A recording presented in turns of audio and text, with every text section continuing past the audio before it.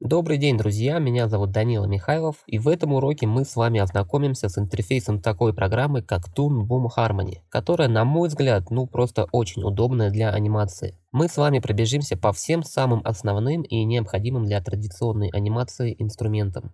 Этот урок рассчитан на тех, кто ни разу еще не открывал программу, но очень хочет начать в ней работать. Сразу должен сказать, что Boom имеет просто огромное количество инструментов, и чтобы разобраться во всех нюансах программы, во всех ее возможностях, одного урока, естественно, не хватит. Поэтому мы с вами сосредоточимся, как говорится, исключительно на быстром старте и на тех инструментах, которые необходимы для традиционной покадровой анимации. Вообще, сами разработчики этого софта разделяют анимацию на два типа.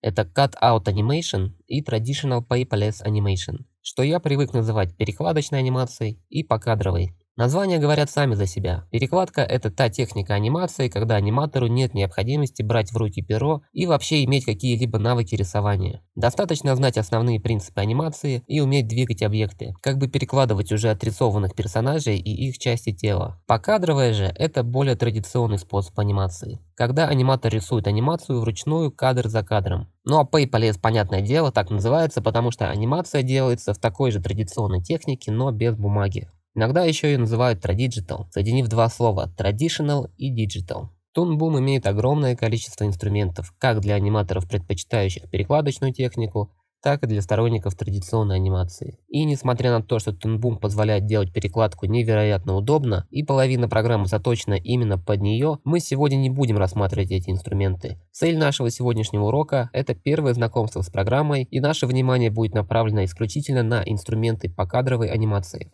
Если вкратце, в этом уроке вы научитесь подстраивать программу под себя, импортировать и экспортировать материалы, узнаете об особенностях таймлайна, кадров и библиотеки, об удобствах работы с цветом и палитрой в Тунбуме. Также мы продемонстрируем, как работает 3D-пространство. Ну и в целом, зная, что многие из вас уже являются опытными моушн-дизайнерами, мы покажем, как Тунбум может стать отличным дополнением в вашем арсенале и сделать ваши ролики на уровень лучше. Итак, приступим. Первое, с чего вам следует начать, это с сайта tunboom.com. Здесь вы сможете не только скачать программу, но также пройти курс обучения, связаться с техподдержкой, получив помощь в любое время, зарегистрироваться на форуме, где собираются юзеры со всей планеты. А также вы даже сможете найти работу или нанять кого-то на работу прямо на сайте. В общем, как по мне, Тунбум делает все для того, чтобы сделать свое сообщество сплоченным. Итак, первое, что вы увидите, перейдя на сайт, это последние новости. В данном случае мы видим, что буквально на днях вышла новая версия программы Harmony 16 которой появились некоторые весьма удобные фишки. Кликнув Learn More, мы попадаем на страничку Features, где можно посмотреть ознакомительное видео, прочитать о всех достоинствах и новшествах программы, скачать 3AO на 21 день, а также вкратце увидеть, какие студии пользуются Тунбумом и какие мультфильмы или сериалы были в нем сделаны. Прежде чем стать членом Тунбум сообщества и скачать программу, надо пройти регистрацию. Процедура несложная и займет у вас, наверное, пару минут. Зато зарегистрировавшись, вы получаете свой личный кабинет на сайте, где сможете контролировать все ваши подписки, покупать или приостанавливать их, видеть все использованные или неиспользованные триалы и скачанные программы. Также вы действительно становитесь членом сообщества и получаете доступ ко всем видеоурокам, туториалам, официальному форуму по Тонбуму, различным фишкам и типсам, которых на сайте просто огромное количество. На самом деле любой, кого заинтересовал данный софт, сможет целиком и полностью ему обучиться прямо на сайте. Тут есть ответы на все вопросы. Достаточно зайти в раздел Learn, и тут можно обучаться либо самостоятельно, либо нанять себе индивидуального тренера. Что в принципе не обязательно, потому что на сайте довольно простая и вполне доступная для понимания система самообучения, в которой вы найдете ответ на любой ваш вопрос. Разработчики предоставляют на сайте воспользоваться тремя их программами – Harmony, Storyboard Pro и Producer. Нас интересует сейчас только Harmony. Вы можете сразу посмотреть желаемые системные характеристики, операционную систему, процессор, монитор, оперативную память, видеокарту. Причем сайт нам сразу показывает, при каких системах насколько хорошо будет работать программа. А в самом низу нам предлагается попробовать триал, или же сразу купить программу. Сперва, естественно, кликаем на триал. Разработчики поступили очень хитро. Они сделали три версии программы – Premium, Advanced и Essentials. Каждая имеет разный набор инструментов и, соответственно, стоимость. При этом, что самое интересное, каждая имеет свой триал в 21 день. То есть при желании можно 63 дня пользоваться программой бесплатно, скачивая разные версии. Наша с вами задача – это покадровая традиционная анимация – А для такой задачи вполне себе подойдет средняя Advanced версия. Essentials, если честно, слишком уж обрезанная версия, в которой многие инструменты просто отсутствуют, а премиум напичкана такими функциями, которые особо не пригодятся в покадровой анимации. Поэтому не вижу смысла переплачивать лишние деньги и советую смело скачивать Advanced версию. Ее будет вполне достаточно. Но предварительно, естественно, можете скачать триал премиума, пользоваться им 21 день, а затем скачать триал Advanced, и у вас будет еще 21 день. То есть в целом у вас будет почти полтора месяца бесплатного пользования. Этого срока вполне хватит, чтобы освоить софт. Более того, вы даже можете успеть выполнить какие-то проекты в этот период и заработать себе на платную подписку. Триал не накладывает никакие водяные знаки при рендере и никак не ограничивает. Он в точности отображает весь функционал платной подписки. Поэтому, скачав Триал, можно сразу приступать к работе. Ну и последнее, что должен сказать. На сайте Тунбума, если вы пролистаете страницу в самый низ, то справа найдете кнопочку Student Pricing, щелкнув по которой перейдете на страницу студенческой подписки, которая на самом деле абсолютно абсолютно ничем не отличается от обычной платной подписки. Поэтому, если вы воспользуетесь во время обучения этим предложением, вы сможете сэкономить себе неплохую сумму. Итак, с сайтом мы с вами разобрались, качаем нужный вам Тунбум и давайте приступать к освоению интерфейса. Давайте откроем наш Тунбум. Щелкаем по иконке Harmony Advanced. И первое, что мы с вами видим, это вот такое окошко, которое нам предлагает либо создать новую сцену, либо открыть ранее созданную. Чтобы создать новую, достаточно просто ввести название сцены и выбрать директорию, где она будет находиться. При этом вы также можете выбрать какой-либо пресет, который определит размеры вашей сцены и количество кадров в секунду. Но сейчас делать этого не обязательно, это можно исправить уже, когда вы создадите саму сцену. Итак, щелкаем «Новая сцена», ну а я открою ранее подготовленную. Итак, вот как выглядит интерфейс программы. Добро пожаловать в Toon Harmony. Я для вас подготовил небольшой списочек. Это список тем, которые мы сегодня с вами рассмотрим. Именно то небольшое количество пунктов, которые необходимы для быстрого старта. А именно, это интерфейс программы, то есть мы посмотрим, в какой части экрана какие окна находятся и для чего они нужны. Далее горячие клавиши, затем рабочее пространство, то есть главное большое окно, в котором рисуется вся анимация и прилегающие к нему кнопочки, затем инструменты рисования, параметры каждого инструмента, затем таймлайн, палитры и цвета и импорт и экспорт анимации. То есть, по идее, после просмотра этого урока вам станет понятно, как устроена программа и как можно начать в ней работать. Наверняка каждый из вас, когда начнет работать в Тунбуме, обратит внимание, что что бы он ни нарисовал – имеет какой-то пиксельный характер, как будто бы изображение плохого качества. Но этого не стоит пугаться. Дело в том, то, что Toonboom использует OpenGL, который упрощает картинку и делает нагрузку на процессор намного меньше.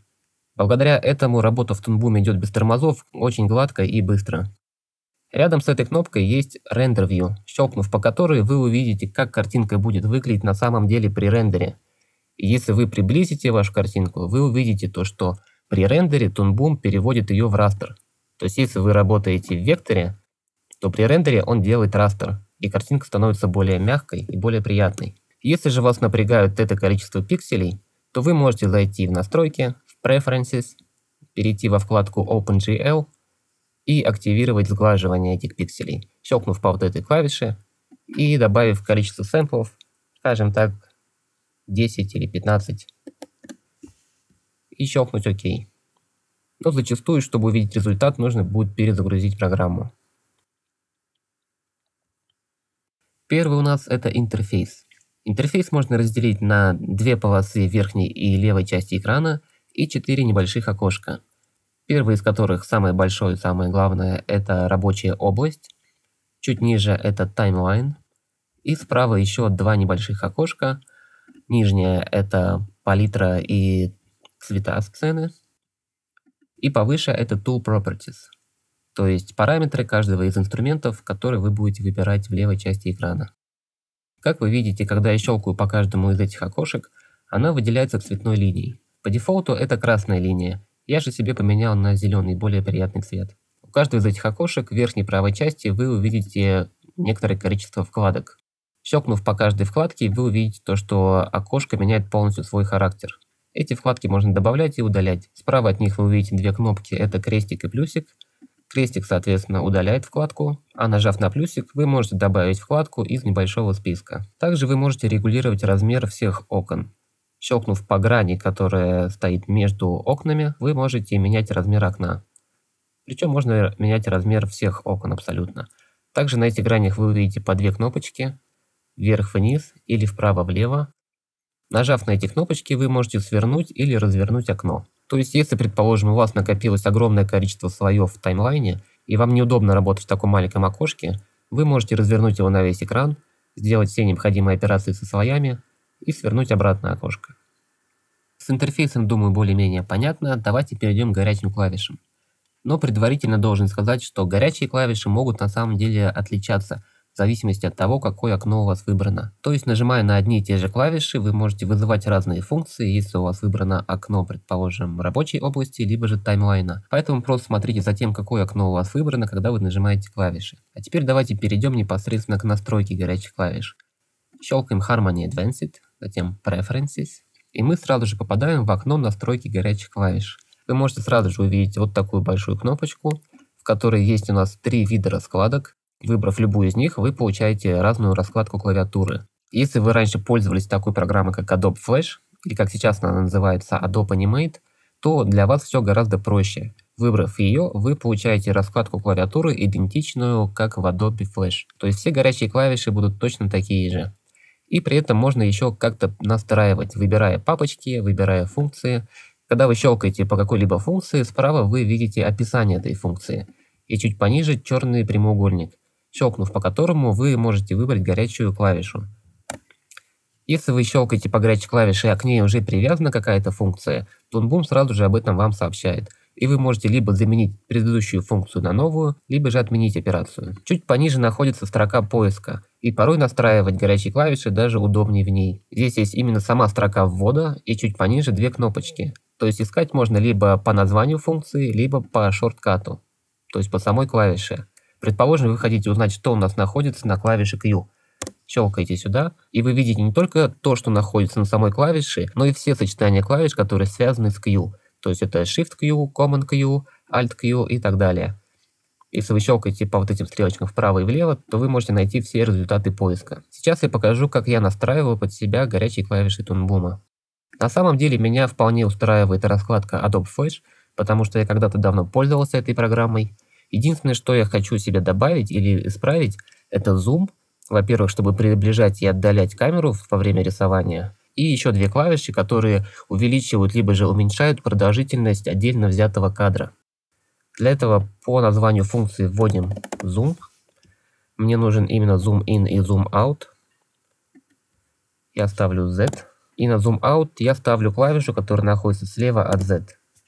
Эти клавиши я выбрал потому, что они находятся рядышком со всеми остальными клавишами, которыми я пользуюсь. И мне так приближать удобней. Далее я ввожу в поиске Exposure. Так называется именно рисованный кадр в Тунбуме. Мне нужен Decrease Exposure и Increase Exposure. Что по дефолту это плюс и минус.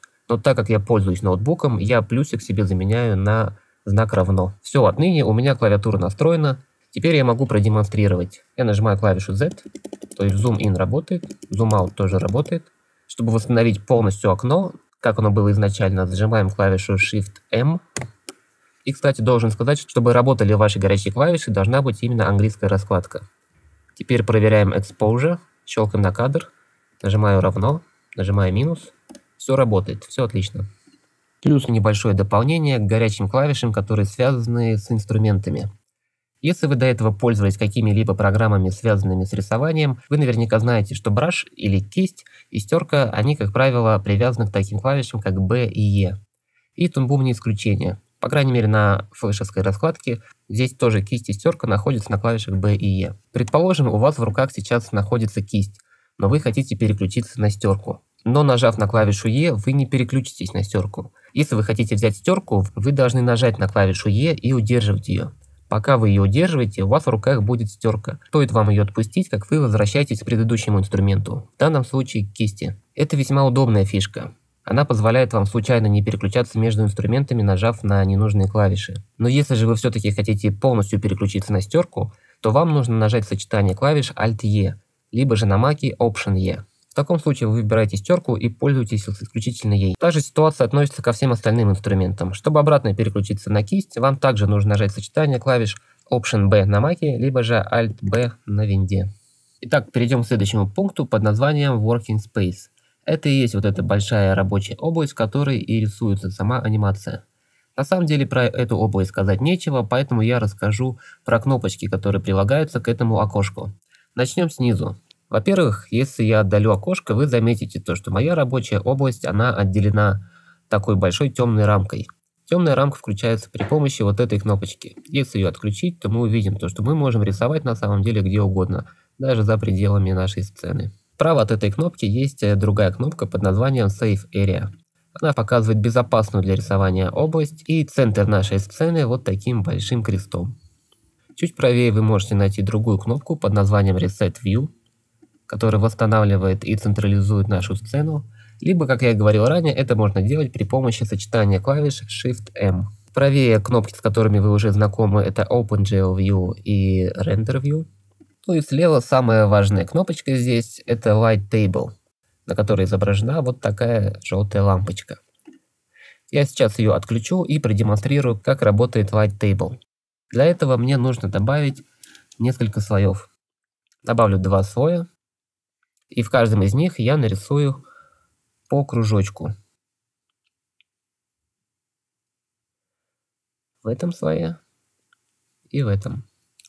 Теперь я включаю функцию Light Table, нажимаю на лампочку, и вы видите то, что у меня выделился один кружочек. Именно тот, который находится на том лейере, который сейчас выбран. Если я переключаюсь на другой слой, то у меня подсвечивается то, что находится в этом слое. Переключаясь на текст, у меня подсвечивается текст. При этом вы видите, что все остальные слои, они становятся как бы полупрозрачными. Чтобы настроить функцию Light Table, давайте щелкнем по вот этой кнопочке, которая называется Top Light. У нас открывается окошко, в которое вы видите несколько ползунков, два из которых связаны с Light Table. Light Table Opacity и Light Table Wash. Если вы начинаете крутить White Table Opacity, то вы видите, что все слои, которые у нас не выделены, становятся более прозрачными или менее прозрачными. Также, если вы будете крутить White Table Wash, вы можете обесцветить те слои, которые у нас выбраны. Это делается для удобства работы, для удобства рисования в отдельно взятом слое. Следующая кнопочка справа от Top Light – это зеркало. Она появилась только в последней 16 версии Harmony – щелкнув по которой просто ваша рабочая область отражается зеркально по горизонтали. Это порой бывает необходимо художникам, которые рисуют от руки, потому что зачастую персонажи могут просто наклоняться вправо или влево, а при помощи вот этой функции вы можете контролировать свои рисунки. Итак, идем дальше. А, слева вы видите две кнопочки, одна серая, другая оранжевая, Show Control и Hide All Controls. Эти кнопки нужны для аниматоров, которые работают перекладкой. То есть, если вы один объект перетащили в другую часть экрана, чтобы показать или скрыть траекторию, вы можете воспользоваться этими кнопочками. Замочек, естественно, он блокирует э, слой выделенный, либо разблокирует все остальные слои. Следующая кнопочка Flatten. Сейчас продемонстрирую, что это такое. Работая в программе Toon Boom, вы должны понимать, то, что когда вы рисуете какие-то объекты, какие-то линии, то каждая линия, она сохраняет свою индивидуальность и независимо не сливается с остальными линиями. То есть вы можете контролировать их, вы можете редактировать их, вы можете крутить, уменьшать в размере и так далее. Если же вы выделите некоторое количество линий и нажмете кнопочку Flatten, то они все объединятся в один объект. То есть вы уже не можете по отдельности эти линии перетаскивать и как-то их редактировать. Следующая кнопка это Create Cover Art from Align Art. Об этом я расскажу чуть позже. Дальше Reset All Transformation. Если вы трансформируете какой-то объект, то при помощи кнопки Reset вы можете восстановить все трансформации. Следующая кнопочка Show Grid для тех, кто пользуется сеткой. Лично я ей не пользуюсь. Следующий слева ряд кнопочек, которые выглядят как кисточки, это на самом деле пресеты. Пресеты инструментов. Чтобы показать, как ими пользоваться, я сейчас удалю текущие и создам новые пресеты.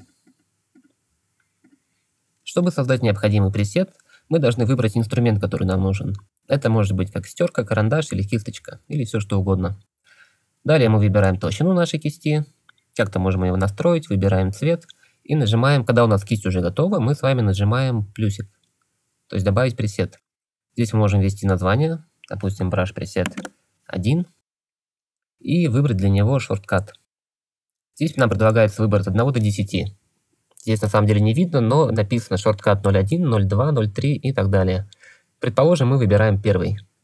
Нажимаем ОК. Все, у нас появился один пресет, браш пресет номер один с шорткатом номер один. Чтобы понять, что за шорткат номер один, нам нужно перейти в Preferences, то есть обратно в настройку горячих клавиш. Мы с вами вводим шорткат и видим, вот они наши tool пресеты, шорткаты от 1 до 10. Здесь вы можете проставить, допустим, от 1 до 10 на каждый из них, чтобы было понятнее, где что будет находиться. Меняем. Нажимаем ОК. И теперь, кликнув по клавише 1, мы с вами вызываем пресет, тот, который сохранили. Если мы нажимаем клавишу 2, предположим, и у нас есть пресет под клавишей 2, то мы переключаемся на него. Так можно настроить несколько кистей, сочетание со стеркой, например, или с заливкой. Чтобы управлять вашими пресетами, нужно нажать на кнопочку Manage Presets. Тут можно их изменить или удалить. И последнее, что я должен сказать по нашему пункту Working Space, это две кнопочки справа этого окошка. Мы видим то, что на рисунках нарисованы нижний слой и верхний слой, буковки L и C. Это у нас Line Art и Color Art. Это как бы является э, под слоями, то есть у каждого нашего лейера есть еще два подслоя. И Toonboom устроен так, то, что у нас рисуется анимация. Давайте я покажу в новом слое.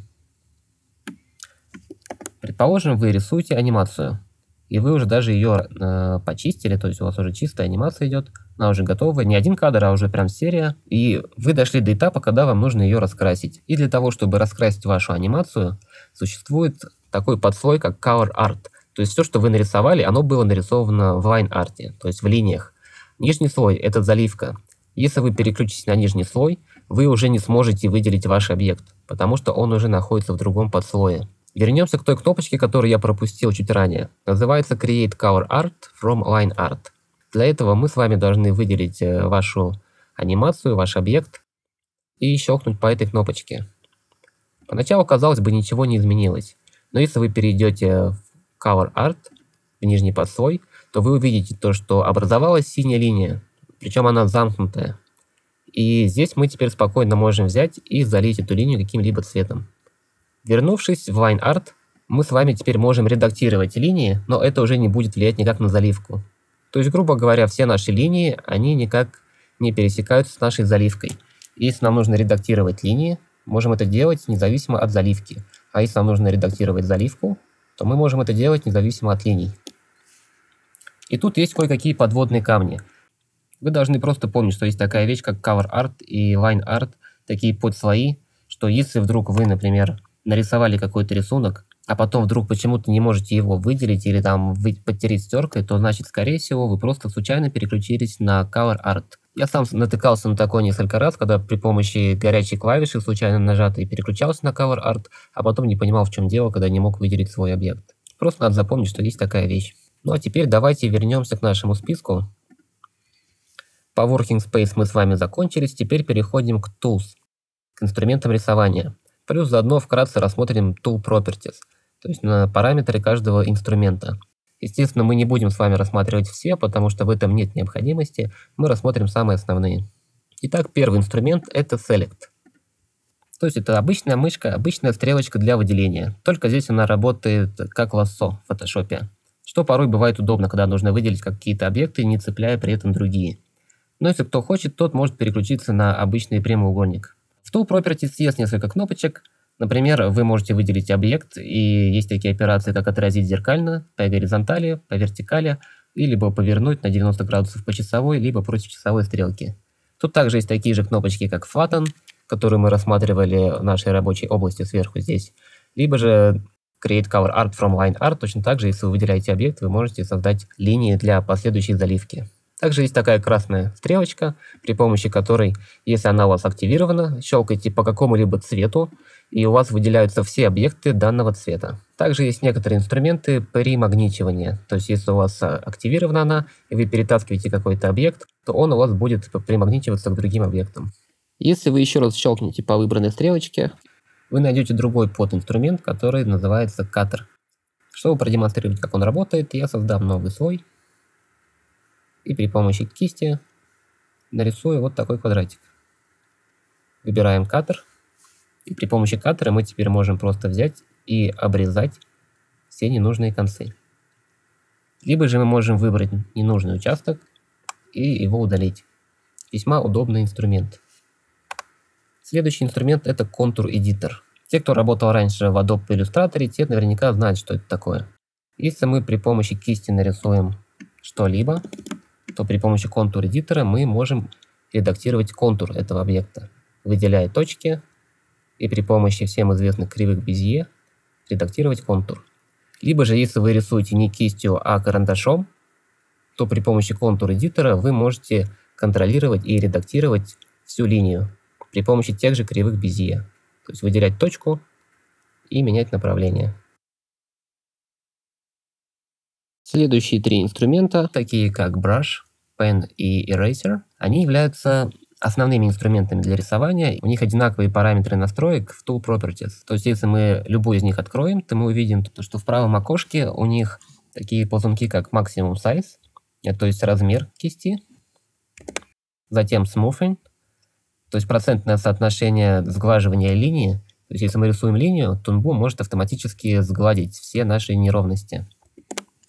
Чуть ниже у нас есть пресеты, причем, как вы можете заметить, здесь пресеты не только векторных кистей, тут также есть и растровые кисти. Или в Тунбуме они называются текстурные кисти. Если мы скроем эти пресеты, под ними мы также увидим несколько кнопочек. Во-первых, по поводу настройки нашего браша. Если мы щелкнем на стрелочку вправо, то здесь мы можем увидеть э, Brush Type. Мы можем использовать как векторную кисть, так и текстурную кисть. Тут есть небольшое количество текстурных кистей и выбрав любую из них, вы можете ее настроить как вам надо. То есть от самого слабого нажатия на перо до самого сильного. То есть вы можете увидеть, что при слабом нажатии у нас будет тонкая линия, при сильном нажатии у нас будет толще. Также есть небольшие настройки, как Random Size, Random Angle, Random Spacing. Ну, примерно все то же самое, что и есть в фотошопе. Настроив любую кисть, можно потом сделать пресет и поставить на нее шорткат. Теперь о кнопке Draw Behind. Когда в Тунбуме вы рисуете что-либо, все ваши рисунки, все ваши линии, они всегда, как правило, рисуются поверх того, что уже было нарисовано. Кнопка Draw Behind позволяет рисовать под объектами, то есть как бы на заднем плане, что порой бывает очень полезно. Следующая кнопка, которая вам может понадобиться, это кнопка Auto Flatten. Как вы помните, все рисунки, все линии, которые вы рисуете в Тунбуме, они все отделены друг от друга.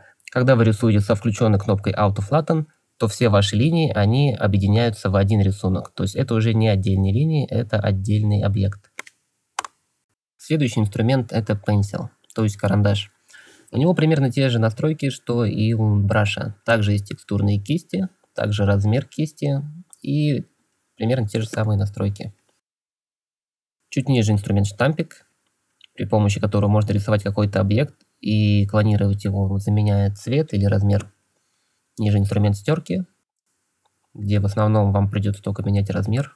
Далее инструмент текста. Тут тоже ничего необычного, просто выбираете шрифт, выбираете размер и можете писать текст. Следующий инструмент Rectangle, при помощи которого можно просто рисовать прямоугольники. И если у вас включена функция Autofill, то ваши прямоугольники будут заполняться тем же цветом, который у вас выбран. Если вы щелкнете еще раз по Rectangle, вы увидите еще некоторые инструменты, такие как Ellipse, Line и Polyline. Ellipse рисуется так же, как и Rectangle, Line это просто линия, а Polyline это инструмент, аналогичный Panel в Photoshop, при помощи которого вы также рисуете такие же линии, как и пенсилом, только при помощи кривых Безье. У него тоже есть автофил, есть магнит и еще кое-какие тоже пресеты. При помощи этого инструмента обычно делается клинап во время анимации. То есть, когда у вас уже черновая готова, создается еще один слой выше, и при помощи полилайна вы можете рисовать прямые аккуратные линии. А затем при помощи контур-эдитора вы можете редактировать, если есть при этом необходимость, вашу линию при помощи вот таких контроллеров. Следующий инструмент – заливка. Заливка в Тунбуме очень интересная, потому что есть несколько разновидностей заливки. Сейчас я продемонстрирую, как работает каждый из них. Для этого мне нужно нарисовать какой-нибудь объект, который мы будем с вами перекрашивать. Я нарисую кружок. Выбираем нашу заливку, выбираем другой цвет. И, во-первых, обратите внимание, то, что заливка у нас как бы рисует некую линию. Это потому, что заливка здесь работает как лассо, так же, как и инструмент Select. Выбрав заливку, она перекрашивает те области, которые вы задеваете. То есть сейчас я задел исключительно контур нашего кружочка, и поэтому контур перекрасился. Если я выделяю полностью наш объект, то помимо перекрашенного контура также закрашиваются неокрашенные внутренние части объекта. Закрашиваются пустоты. Следующий вид заливки – это Paint Unpainted, то есть закрасить не закрашенное. Если я точно так же выделяю наш объект, то он закрашивает исключительно пустоты. Он не перекрашивает цвета, он закрашивает именно те участки, которые не были прокрашены. Следующая заливка – это Repaint, то есть э, он перекрашивает. Соответственно, если мы выделяем опять наш объект, он перекрасил наши уже закрашенные зоны, но не закрасил наши пустоты. Инструмент Unpaid, он просто удаляет цвет. И еще среди заливок вы можете увидеть такие два инструмента, как Stroke и Close Gap. Сейчас я объясню, что это такое. Stroke – это как бы невидимые линии. Они не просто так находятся среди заливок. Если я при помощи строка разделю наш объект, то сразу же выскакивает окошко, которое мне говорит о том, что вы нарисовали только что невидимую линию, и чтобы эту линию увидеть, вы должны активировать функцию Show Strokes. Мы нажимаем ОК. По умолчанию у меня Show Strokes находится на клавише D. То есть, если я щелкаю по клавише D, я сразу же вижу ту невидимую линию, которую мы с вами только что нарисовали. Если я еще раз нажимаю клавишу D, то я снова скрываю эти линии. Если у вас на клавише D не всплывают невидимые линии, вы можете зайти в Preferences, строке поиска вы можете ввести Show Strokes и поставить нужную клавишу, щелкнув вот по этому прямоугольнику. Итак, как вы видите, наша линия, она делит объект пополам, поэтому если мы теперь выбираем инструмент заливки, она будет закрашивать каждую часть отдельно. Если я щелкну по нашему кружочку, он не закрасится полностью. Он закрасится ровно до той линии, которую мы с вами провели. И эти невидимые линии работают даже тогда, когда мы их с вами не видим. Можете убедиться в этом сами. Следующий инструмент Close Gap. Close Gap работает примерно так же, но немножко с небольшим отличием. Если stroke, когда мы с вами рисуем, он сохраняет ту форму, которую мы нарисовали, то Close Gap вообще не рисует, по идее, никаких линий. Close Gap существует для того, чтобы закрывать какие-то дырки. То есть, если вы нарисовали какой-то объект, а он оказался не замкнутым, то вы закрасить его не сможете. Но при помощи инструмента Close Gap, если вы пройдетесь по контуру, то он, скорее всего, закроет все дырочки, которые вы оставили. Вот смотрите, я, допустим, нарисую вот такую форму, и он ее никак не сохранил, он просто поймал два объекта и между ними нарисовал прямую линию. Таким образом работает этот инструмент. Ниже под заливкой у нас находится инструмент Dropper, который на самом деле является просто пипеткой.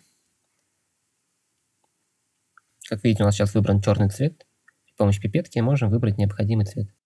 Далее под пипеткой у нас находится пивот. Многие из вас уже, наверное, знают, что такое пивот. Это просто как бы якорь, вокруг которого у нас будет происходить все деформации. То есть если я поставлю якорь вот здесь вот, выбрав инструмент трансформации и покрутив объект, он будет крутиться вокруг той точки, которую я установил. Далее инструмент морфинг, он нам с вами не пригодится. Под ним инструмент hand, то есть ладошка, который по умолчанию во всех программах обычно стоит на пробеле, чтобы двигать экран. Вместе с ладошкой есть еще пару инструментов, один из которых очень важный – это Rotate View. Rotate View по дефолту у нас вызывается сочетанием клавиш Ctrl-Alt или на Mac Command-Option. То есть, когда вы рисуете что-либо, если вы сжимаете Command-Option, то вы можете крутить ваш экран, что очень помогает рисовать а нажав сочетание клавиш Shift-M, вы можете вернуть в исходную позицию. Итак, у нас с вами осталось еще пару инструментов, такие как Transform, который, казалось бы, обычный трансформ, ничего особенного, но здесь, в Тунбуме, он привязан к такой кнопке, как Animate и к таймлайну напрямую. Поэтому его мы рассмотрим чуть попозже. Сейчас давайте перейдем к последнему инструменту, такому как Onion Skin. На самом деле Onion Skin это вовсе не инструмент. Onion Skin это функция. Для тех, кто не знает, я объясню. Эта функция присутствует абсолютно во всех анимационных программах, и ее можно назвать самой главной функцией, потому что именно благодаря ей и делается анимация. Чтобы показать наглядно, как она работает, давайте продлим нашу экспозицию до 20 кадра, нажимаем кнопочку F5. В первом кадре я перетаскиваю наш текст в левую сторону при помощи трансформа, а в последнем кадре я перетаскиваю вправо. То есть у нас получилась такая линейная анимация. И на десятом кадре остановимся – и активируем наш Onion Skin. Для этого заходим в Windows, нажимаем Onion Skin. У меня он находится вот в этой панельке. Если у вас его тут нет, вы можете добавить его либо в верхнюю, либо в нижнюю панельку, щелкнув по плюсику и выбрав Onion Skin. Далее, чтобы активировать Onion Skin, вы должны просто щелкнуть по самой центральной клавише. Первое, что мы видим, это то, что наш текст как будто бы размылся. На самом деле никакого размытия нет, просто Onion Skin нам показывает предыдущие кадры и последующие кадры. Красным цветом идут предыдущие кадры, зеленым последующим. Если рассмотреть окно Onion Skins, можно его поделить пополам. То есть вся левая часть у нас отвечает за предыдущие кадры в анимации, вся правая часть за последующие. Соответственно, и цвета вы тоже можете поменять прямо здесь. Вот он красный цвет, отвечающий за предыдущие кадры, и зеленый за последующие. Прозрачность Onion Skin регулируется ползунком, который находится прямо посерединке. То есть, если вам нужно сделать более прозрачным или более видимым ваш Onion Skin. Также вы увидите 10 цифр, которые уходят налево или направо. Это количество кадров, которые вы хотите видеть на экране. Можно активировать все 10, можно сделать лишь по одному кадру. И под каждой циферкой у нас есть свой ползунок, который отвечает за прозрачность каждого кадра. Также есть небольшая кнопочка By Frames или By Drawings. Это разновидности Onion Skin, который показывает нам либо соседние кадры, либо соседние рисунки, которые могут находиться за некоторое количество кадров. По Onion Skin, думаю, должно быть вам понятно. Это именно тот инструмент, благодаря которому рисуется анимация. То есть, активировав Onion Skin, вы можете рисовать кадр, опираясь на предыдущий кадр. Или вставлять какой-то промежуточный между последующим и предыдущими кадрами. Сейчас пока мы это отключим и перейдем к трансформу. Но чтобы понять, что такое трансформ, нам нужно сперва понять, что же такое ключевые кадры. Для этого позвольте мне нарисовать небольшую анимацию в новом слое. Я пока что скрою наш текст, возьму кисть и создам небольшую анимацию.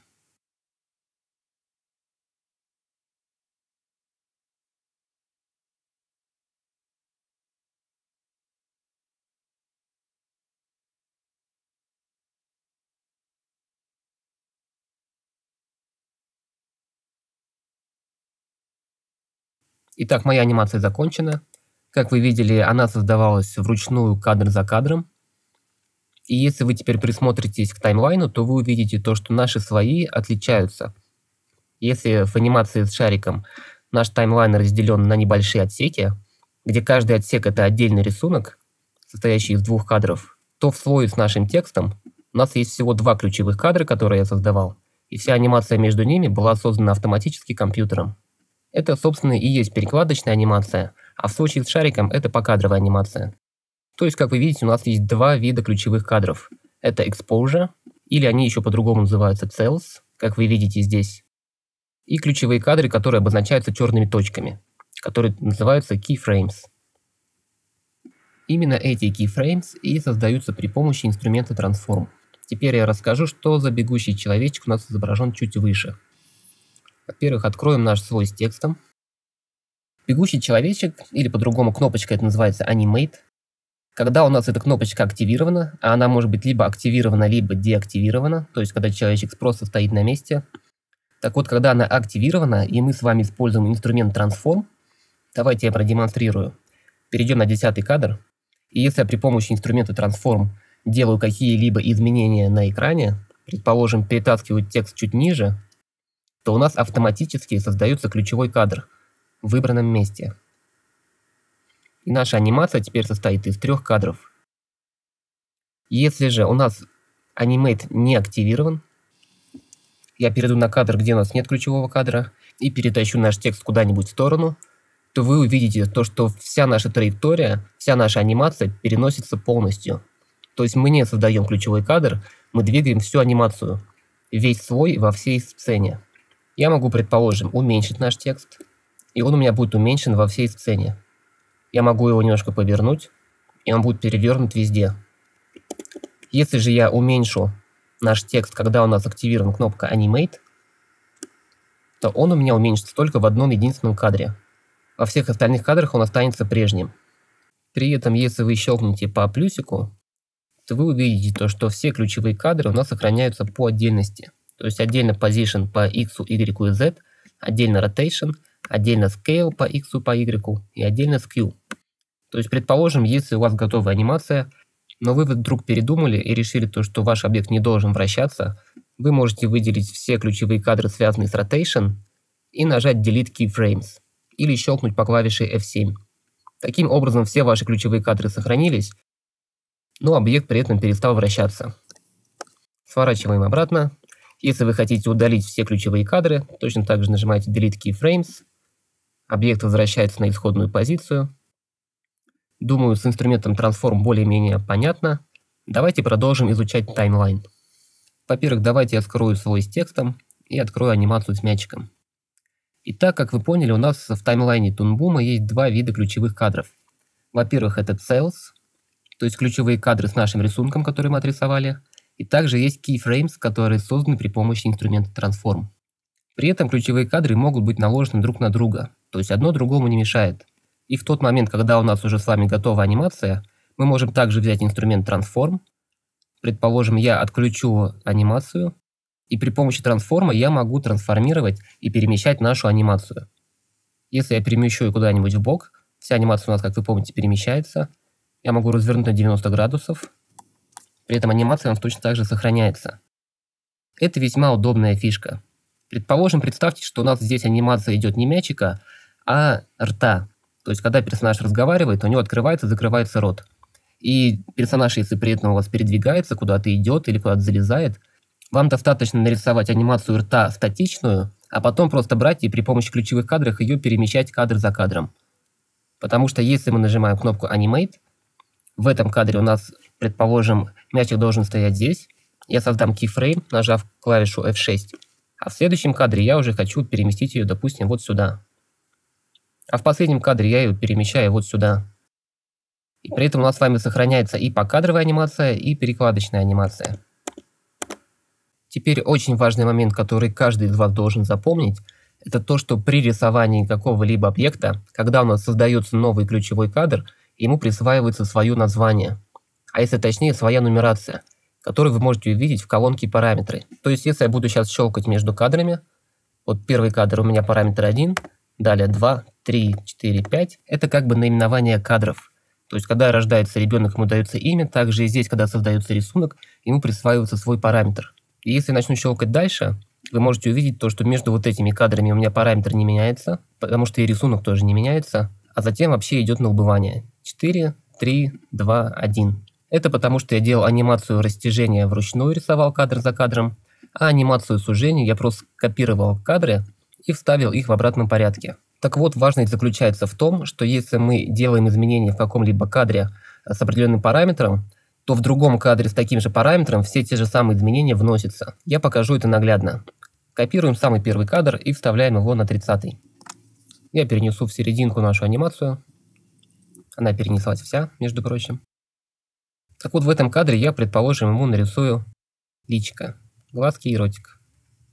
И теперь, когда мы с вами вернемся обратно к анимации, мы увидим то, что во всех кадрах с параметром 1 у нас появились глазки, появилась личико.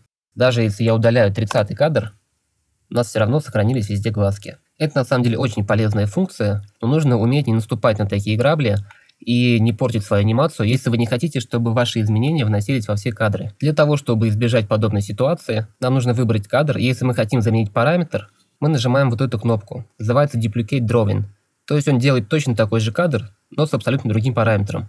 Как видите, я щелкнул, и параметр изменился на 6. Поэтому если сейчас мы удаляем лицо, то в первом кадре она у нас сохраняется, а в последнем кадре у нас ее нет. И при этом вы должны понимать то, что у каждого слоя есть своя библиотека, в которой хранятся все наши рисунки, которые вы когда-либо рисовали в этом слое.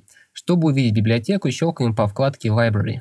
Здесь вы увидите, во-первых, превью текущего рисунка, название текущего рисунка, и чуть ниже ползунок с определенным количеством засечек. Каждый из этих засечек отвечает за отдельный рисунок, который был когда-либо нарисован в этом слое. То есть, если я двигаю ползунок и выбираю пятый рисунок, то на экране наш рисунок меняется с шестого на пятый. Выбираю четвертый, он четвертый. И так далее. Если я ухожу в ноль, то рисунок вообще удаляется. При этом, если я удалю все наши кейфреймы, то в библиотеке все равно сохраняется информация о ранее нарисованных рисунках и анимацию можно восстановить. И эта библиотека существует до тех пор, пока существует слой. Верну нашу анимацию, Ctrl-Z. Ctrl-Z. Чтобы у вас было более наглядное понимание, как устроена библиотека, вы можете открыть такое окно, как Drawing Substitutions, которое было добавлено только в последней версии Harmony 16. Здесь вы видите все наши кадры, которые имеют свои названия. Вы можете увеличить превью, либо уменьшить. Ну и раз мы с вами заговорили о библиотеке, я вам покажу, как можно импортировать сюда иллюстраторские файлы. Если, предположим, вы работаете в программе Adobe Illustrator и, создав векторного персонажа, хотите импортировать его в Toon и заанимировать, для этого нужно сделать следующее. Во-первых, находим Harmony Advanced Library. Нажимаем правой кнопочкой, далее Write to Modify. Теперь мы разблокировали нашу библиотеку и можем импортировать файл. Жмем «Файл», «Импорт», «SVF Illustrator Files to Library» и выбираем нужный нам файл. Импортировать также можно помимо SVF и AI еще PDF-файлы. После того, как вы импортировали файл, он у вас появляется вот в этом правом окошке. Далее из этого окошка вы можете просто его взять и перетащить в ваш таймлайн. При этом, если ваш персонаж в Adobe Illustrator был нарисован по слоям, то импортировав сюда, у вас все слои сохраняются. Но здесь каждый отдельно ваш слой будет, как и в случае с нашим шариком, разделен вот на такие засечки.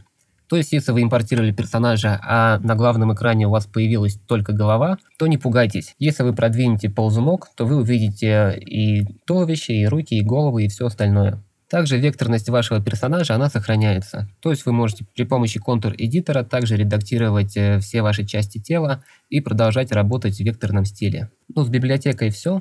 Продолжаем дальше. На таймлайне вы также можете увидеть два ползунка.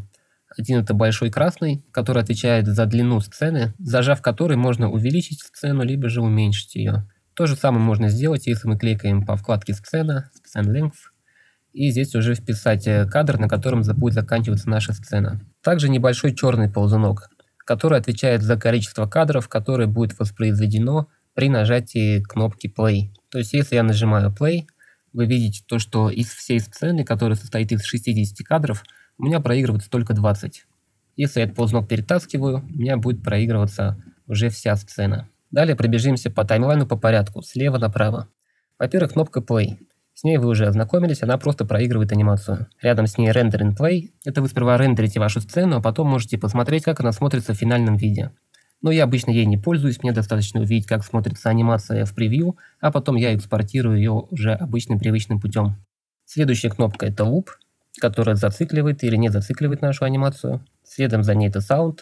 Если у нас есть звук в анимации, то Э, мы проигрываем со звуком, либо же без звука, и кнопочка Scrubbing. То есть, если вы двигаете текущий кадр, вы можете слышать звук, который находится на этих кадрах. Далее по слоям. У каждого слоя слева вы можете увидеть, во-первых, два глазика, при помощи которых можно скрыть и либо его открыть. Рядом с ним это Solo мод, то есть щелкнув по которому мы открываем наш слой в соло режиме. То есть все остальные слои пропадают, остается только один. Следующий это Onion Skin. Можем активировать или деактивировать его здесь. Также мы можем активировать Onion Skin нескольких слоев. Затем замочек, он блокирует наш слой, в котором мы уже ничего сделать не можем. Либо разблокируем его. Следующий серый квадратик. Если вы щелкнете по нему единожды, то вы увидите контур вашего рисунка, что бывает очень удобно при детальной анимации. Если же вы щелкнете два раза по этому квадратику, вы можете выбрать э, любой другой цвет для этого слоя, что бывает весьма удобно, когда вы имеете дело с огромным количеством слоев. Ну, затем само название слоя, ну и плюсик, который мы с вами уже рассматривали. И следующая колонка параметры, с которой вы тоже уже знаете. Теперь как создаются слои. Во-первых, вы можете увидеть у меня три слоя, нижний из которых Color Card отличается от верхних двух. Это потому, что на самом деле Color Card это вовсе не слой, в котором можно рисовать анимацию. Это просто слой с цветом. Если мы его отключим, то вы увидите то, что наш рисунок находится на самом деле на сером фоне. И вообще по дефолту в Toonboom всегда стоит серый фон, который не является цветом. То есть если я отрендерю сейчас нашу анимацию в таком виде, то это будет анимация на прозрачном фоне с альфа-каналом. Если вам альфа-канал не нужен, то вы можете добавить Color Card. Для этого вы нажимаете плюсик и щелкаете по Color Card. Далее два раза щелкаете по Color Card и выбираете цвет, который вам нужен. Чтобы создать слой, в котором вы уже хотите начать анимацию, для этого вам нужно щелкнуть на плюсик, а затем Drawing, то есть создать Drawing Layer либо же щелкнуть вот на эту кнопочку Add Drawing Layer. Щелкнув по которой всплывает небольшое окошко, в котором вы пишете название слоя и нажимаете Add, либо же Add and Close, что закрывает это окошко. Чтобы удалить слои, нажимайте на минус. Чуть выше вы увидите два таких ползунка, при помощи которых можно двигать вашу анимацию, но на самом деле они не очень удобные и вряд ли вам пригодятся, так же как и вот эти несколько окошек. Что вам действительно пригодится, так это вот этот вот набор кнопок. Давайте пробежимся по ним по порядку. Самая первая кнопка это Create Empty Drawing. Она создает новый пустой кадр. То есть если мы в пустом пространстве, где нет у нас кадров, нажимаем Create Empty Drawing, то, как видите, у нас создался новый кадр, который имеет свой уникальный параметр и является пустым кадром. То есть э, в рабочей области у нас ничего нет. Вообще делать этого, конечно, не обязательно, потому что если щелкнете по пустому пространству и начнете рисовать, то вы увидите то, что кадры тут создаются автоматически. А вот если мы возьмем предыдущий кадр, то есть предыдущую экспозицию и растянем ее до 40 предположим, кадра, и где-то на 30 посерединке нажимаем Create Empty Drawing, то вы увидите, что наша экспозиция поделилась пополам, и у нас создался новый уникальный пустой кадр со своим параметром. Но если же вы щелкнете по соседней клавише, которая называется Duplicate Drawing, то вы увидите, что у нас точно так же поделилась экспозиция пополам, точно так же создался новый уникальный кадр со своим параметром, но при этом в рабочей области сохранился предыдущий рисунок. При этом это является копией предыдущего рисунка, то есть если вы здесь вносите какие-либо изменения, то в предыдущий кадр эти изменения не переносятся, так как это уже уникальный отдельный кадр. Так, уберем созданные кадры. Следующие кнопки это Create, точнее Insert Keyframe и Delete Keyframe. Это ключевые кадры, которые, как вы помните, создаются при помощи трансформа, то есть кадры для перекладки. Если мы щелкаем в первом кадре Insert Keyframe, то вы увидите, что у нас создается такая небольшая точка в кадре. И если в последнем кадре мы тоже создаем ключевой кадр, то у нас появляется черная полоска, которая является анимацией, которая превращает первый ключевой кадр в последний ключевой кадр. Если мы вносим какие-либо изменения, и, предположим, в первом кадре мы перенесем наш рисунок влево, то в последнем кадре он остается на месте. И эта черная полоска, она означает как раз-таки превращение первого кадра в последний. Рядышком есть две кнопочки, которые называются Set Motion Keyframe и Set Stop Motion Keyframe. Они также относятся к перекладочной анимации, и если мы щелкнем по Stop Motion Keyframe, то, как видите, наша анимация, то есть наша черная полоска просто исчезла. У нас остались лишь ключевые кадры. И вся анимация будет теперь только по ключевым кадрам. У нас нет постепенного превращения одного кадра в другой. А вот если мы щелкнем обратно по Set Motion Keyframe, то мы возвращаем нашу черную полоску, которая создает постепенное превращение одного кадра в другой. Также рядышком есть две кнопочки, это Go to Previous Keyframe и Go to Next Keyframe, которые просто переключаются между ключевыми кадрами. С этим, я думаю, понятно. И ключевые кадры можно убрать э, клавишей F7. Идем дальше. Следующие две кнопки это Add Key Exposure и Remove Key Exposure. Их функция заключается в следующем. Предположим, выберем вот этот наш длинный кадр, у которого параметр 2, и щелкаем по кнопке Add Key Exposure. Как вы видите, наша экспозиция поделилась пополам, но при этом параметр сохранился тот же самый. То есть вы видите, что слева у нас параметр 2, и справа также параметр 2. А соответственно, если вносить какие-либо изменения в этом кадре, то все наши изменения будут переноситься и на соседний кадр. Ну а кнопка Remove Key Exposure, она соответственно удаляет нашу экспозицию. И соответственно, если мы выберем некоторое количество кадров и нажмем на клавишу Key с минусом, у нас также удаляются все наши кадры. Соседняя кнопочка под названием Center on Selection, ее функция заключается в следующем. Если у нас, предположим, в таймлайне есть огромное количество слоев, выберем сейчас слой Ball и скроем его вниз. То есть у нас выделен какой-либо слой, который у нас не видно в таймлайне, который находится где-то внизу, либо где-то сверху. Если же мы щелкнем по клавише Center on Selection – то таймлайн просто демонстрирует, какой слой у нас сейчас выделен. Также, если сделать двойной щелчок по этой клавише, то он открывает нам все дочерние слои данного лейера. А в Тунбуме это делается довольно часто, особенно если вы занимаетесь перекладочной анимацией. Вы можете брать слои и засовывать их под какой-либо другой слой. При этом у вас появляется стрелка слева от названия слоя, щелкнув по которой вы можете открыть либо же скрыть все слои. Грубо говоря, дочерние слои, они у нас зависят от нашего основного слоя. То есть, если мы какие-либо трансформации вносим в главный слой, то все трансформации также отражаются на слоях, которые принадлежат ему. Удалим ненужные слои и идем дальше. Следующая кнопка, на которой изображены два графика, это очень важная кнопка для тех, кто занимается перекладочной анимацией, называется Set Is. Для тех, кто раньше работал уже в After Effects, тот, наверное, знает, что такое Is. Она при помощи графиков делает замедление либо ускорение для нашей анимации. Сейчас покажу, как она работает. Во-первых, уберем все наши кадры и оставим исключительно шарик. Далее при помощи инструмента Transform я сделаю такую небольшую линейную анимацию.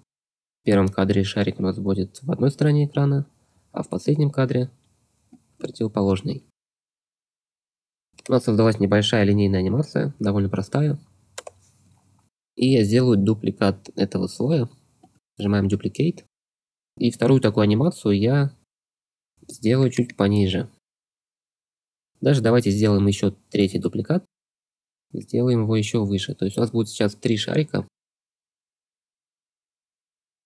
Это будет три одинаковых анимации. Теперь при помощи инструмента SetIs мы сделаем замедление и ускорение для каждого разное. Для самого верхнего шарика мы оставим вообще, не будем его трогать, пусть у нас остается линейным. А для нижних двух слоев давайте сделаем небольшое замедление и ускорение. Данный график показывает нам э, нашу анимацию. В данном случае она у нас линейная, как вы видите. То есть она идет э, напрямую, график у нас без каких-либо изгибов, он прямой. Тот кадр, который находится по центру этого экрана, это и есть кадр, который у нас выбран.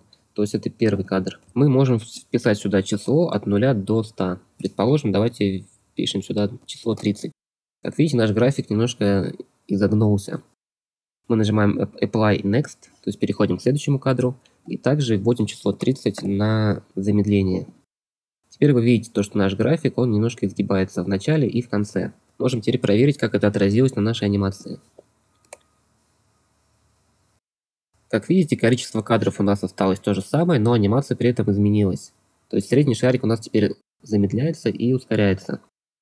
Можем сделать, провести ту же операцию на, на наш нижний шарик, но вводим число теперь не 30, а, предположим, 70. Теперь вы видите, что график наш изгибается еще больше.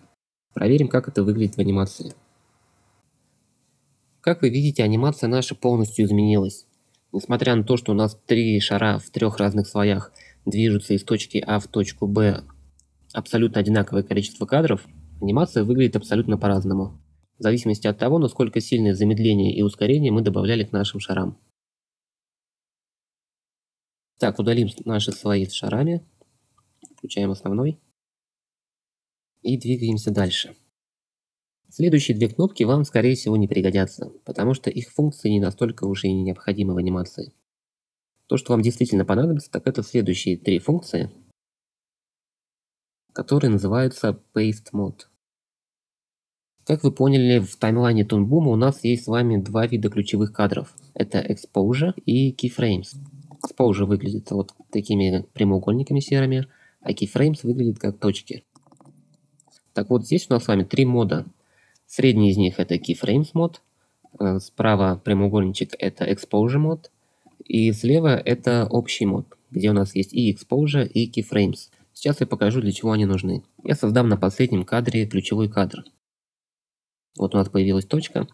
Смотрите, если я последний кадр теперь перетащу на 30, у нас с вами перенесся и Exposure, и Keyframe. Нажимаем Ctrl-Z. Если же теперь мы с вами включим Keyframe мод и перетащим тот же самый кадр на 30, то увидим, что у нас перенесся исключительно Keyframe. Ну и соответственно, если у нас Exposure мод, то у нас будет переноситься только Exposure. Это просто три функции, три разных мода, при помощи которых удобнее управлять кадрами в нашем таймлайне. А, ну и еще одна функция, которая вам может очень пригодиться, называется Paste Reverse. То есть, если вы нарисовали какую-либо анимацию, у вас есть какое-то количество кадров, которые вы хотите отразить задом наперед, то вы должны просто скопировать вашу анимацию, затем нажать правой кнопкой мыши, щелкнуть Paste Reverse, и ваша анимация вставится только в обратном порядке. По таймлайну у нас все, давайте переходить к цветам и палитре. Чтобы продемонстрировать некоторые возможности тунбума в плане палитры, я скопирую наш текущий слой и разведу в стороны наш текст. Теперь у нас есть с вами два слоя с одним и тем же текстом. И давайте рассмотрим палитру более подробно. Окно палитры, то есть вкладочка Color, устроено следующим образом. У нас есть одна основная палитра сцены, в которой входит какое-то количество цветов чуть пониже. То есть сверху у нас наши палитры, снизу у нас э, цвета, которые относятся к этой палитре. То есть если я щелкну по плюсику, то я могу добавить какую-то палитру. Это бывает весьма удобно, если вы хотите структурировать цвета в вашей сцене. Представьте, что у вас несколько персонажей в сцене, и чтобы все цвета всех персонажей не были перемешаны в кучу, для этого можно создать для каждого персонажа свою палитру. Я ввожу название палитры. Персонаж номер один. Как только я создал новую палитру, вы видите то, что снизу у нас поменялись цвета. Теперь, если я щелкаю и переключаюсь между палитрами, то у меня меняются цвета и показывается, в какой палитре какие цвета есть. Я могу добавить цвета. Достаточно щелкнуть по клавише плюс. Когда вы щелкаете по плюсу, у вас просто копируется текущий выбранный цвет. То есть, если я здесь выбираю другой оттенок, красный, например, и щелкаю по плюсику, то у меня добавляется новый цвет, скопированный из того, который был выбран. Также каждому цвету можно давать свое название. Это бывает также очень удобно, если вы используете определенный цвет для определенных целей. Предположим, у вас красный – это цвет кожи персонажа, то вы можете щелкнуть два раза и написать название для этого цвета как кожа. Если черный вы используете как обводку, то вы можете так и написать обводка. Теперь вы точно не заблудитесь в ваших цветах и можете переключаться между палитрами, также давать название палитрам, можно их вообще скрыть, чтобы они вам не мешались либо же развернуть. Ну а при помощи минуса можно удалять ненужные цвета.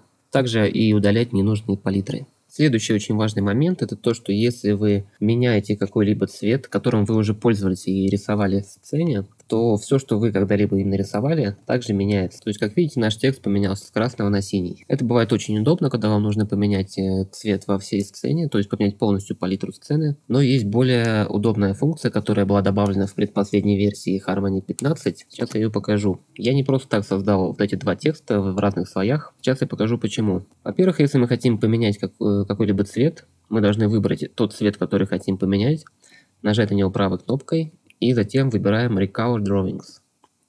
У нас всплывает небольшое окошко, которое нам предлагается на выбор. Это поменять цвета текущего кадра, затем поменять цвета всех кадров данного выбранного слоя, либо же поменять все цвета всех слоев, всех кадров во всей сцене. Давайте выберем вторую опцию, это поменять цвет только в текущем выбранном слое, и нам нужно выбрать, на какой цвет мы поменяем. У меня на данный момент только два цвета, это черный и красный. Я выбираю черный, нажимаем ОК. И как видите, у нас поменялись э, все кадры только в одном слое. То есть нам не пришлось создавать новый цвет и потом что-то перекрашивать, все какие-то кадры.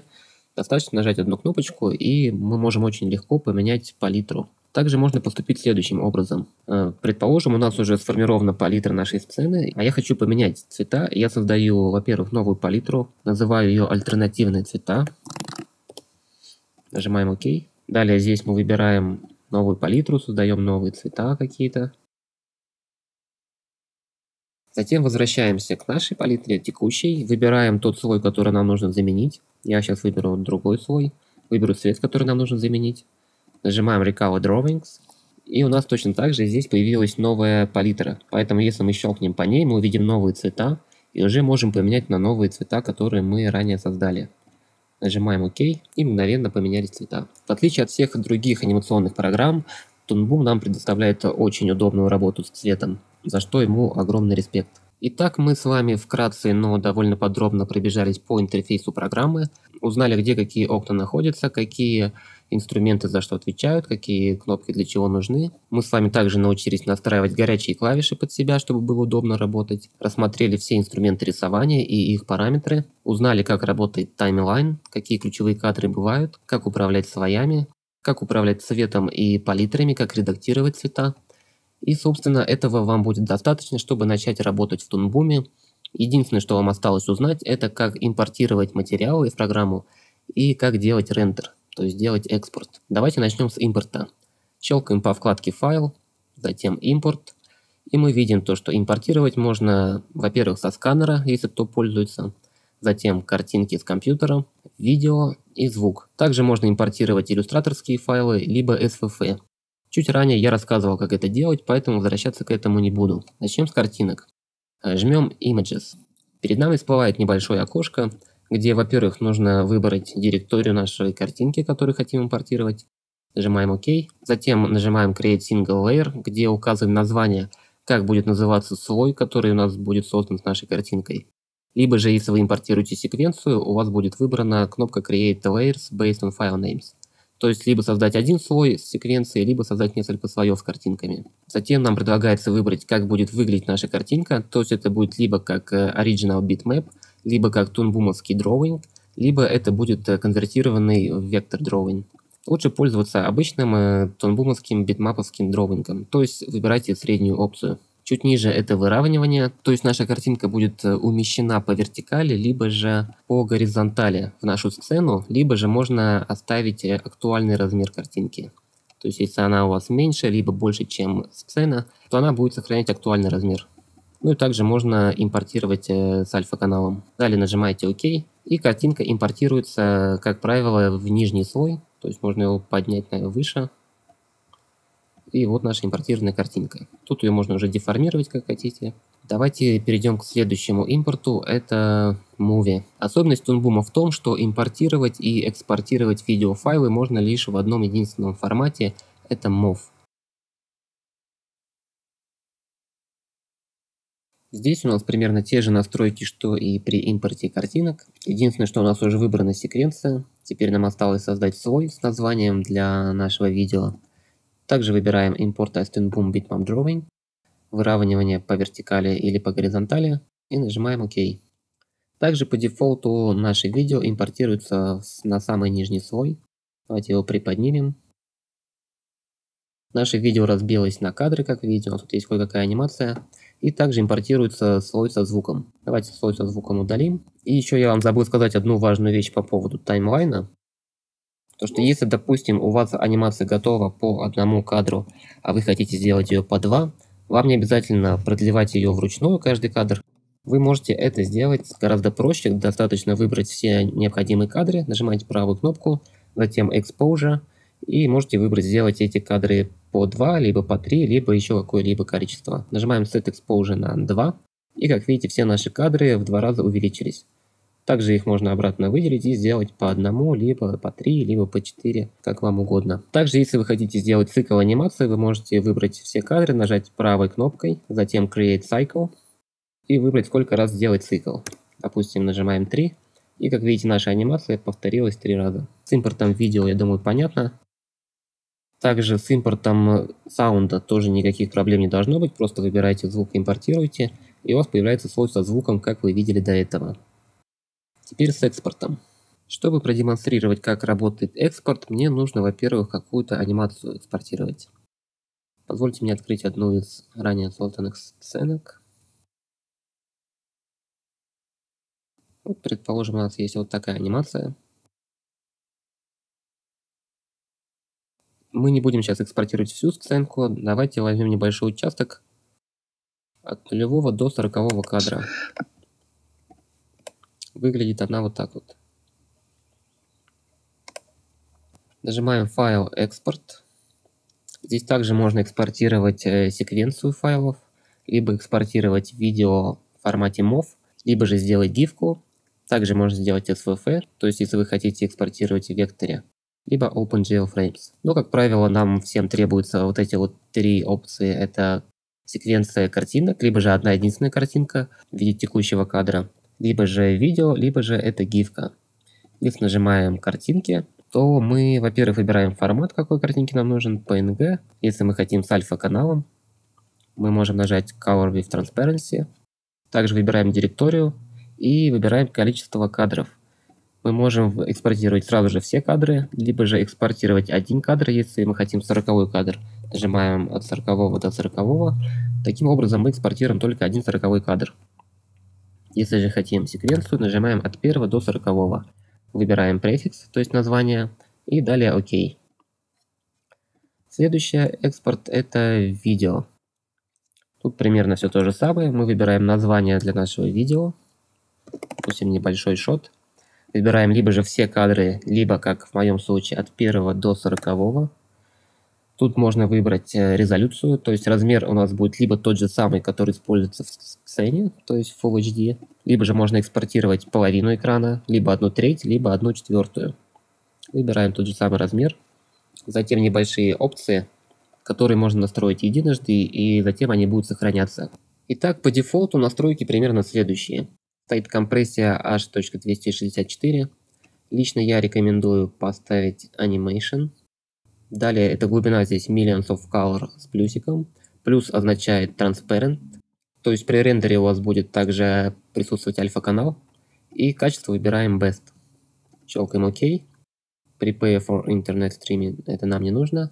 Sound можем оставить. Нажимаем ОК. Все, настройки у нас готовы и сохранены.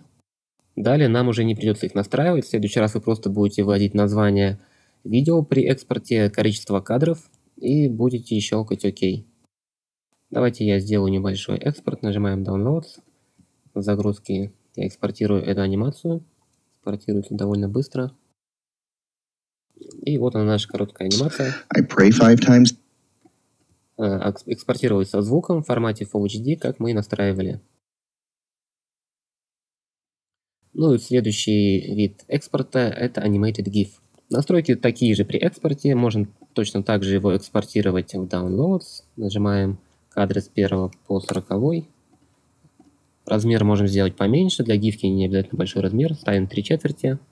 Зацикленно ставим луп и нажимаем ОК. Экспорт прошел успешно. И как видим, гифка работает нормально. Итак, с экспортом мы тоже с вами разобрались, и на этом наш с вами урок подошел к концу. Я надеюсь, вся сегодняшняя информация была для вас полезной, и теперь вы можете применять Toonboom в своей работе. Если вы являетесь motion дизайнером, то вы можете либо делать ролики целиком в Toonboom, либо можете дополнять им свои анимации, сделанные в Adobe After Effects. Для этого вы можете просто импортировать в Toonboom отрендеренные сценки, создавая новый слой, дополнять сцену по кадровой анимации – добавлять ликвидные шлейфы к движущимся объектам, либо делать покадровую персонажку, а затем, экспортируя с альфа-каналом, вставлять обратно в АЕ. С вами был Данила Михайлов. Если вам был полезен этот урок, то ставьте лайки и следите за новостями. Потому что в этом уроке я лишь просто знакомил вас с софтом, в котором я делаю анимацию. А если же вам интересно вживую увидеть, как именно я делаю анимацию, и узнать какие-то новые фишки, то включайте следующий урок. Всем спасибо и до новых встреч!